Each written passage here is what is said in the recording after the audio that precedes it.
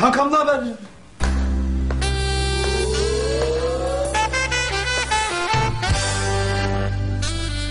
Selam. Şey ben Sarp'a bakmıştım da. Nasıl?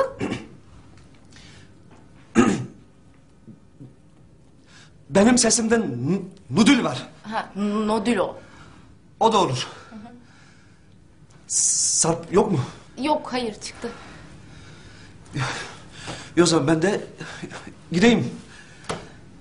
Değil mi? Yani Sarp yoksa ben niye bekleyeyim burada değil mi? Gideyim ben. Beklersen gelir ama. Bekle, olur mu beklesem? Olur. Otur. Ya ben be- beklersem yedi yıl beklerim burada ya. Sebep?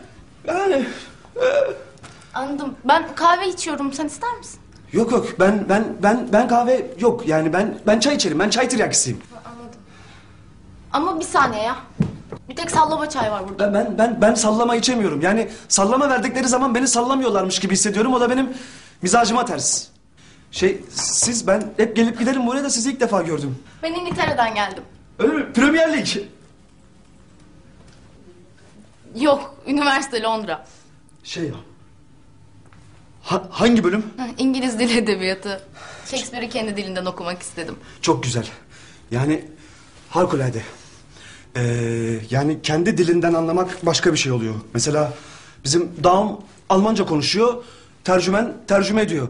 Yani dağımın dediklerini mi söylüyor yoksa kafasına mı göre tercüme ediyor? Mesela Almancamız olsa onu anlardık yani. Benim tek bir Almancam var o da ortaokulda seyrettiğim filmlerden kaldı. Undeva undeva. Anlıyorum. Shakespeare hangi takımı çalıştırıyor? Shakespeare o yazar. Çok güzel. Çok güzel. Ben gideyim o zaman hani Sarp gelmeyecek herhalde. Sen bilirsin otur istersen. Yok yok ben gideyim. Duvardaki resminle avunur gönlüm Daha dün yanımdaydın şimdi neredesin Ne çabuk unutuldu nerede o sözün Belli ki gönülmeyen uzak yerdesin Lan! Kendine gel Kenan, kendine gel oğlum.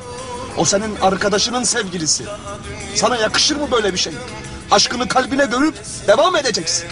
ne çabuk unutuldu nerede o sözün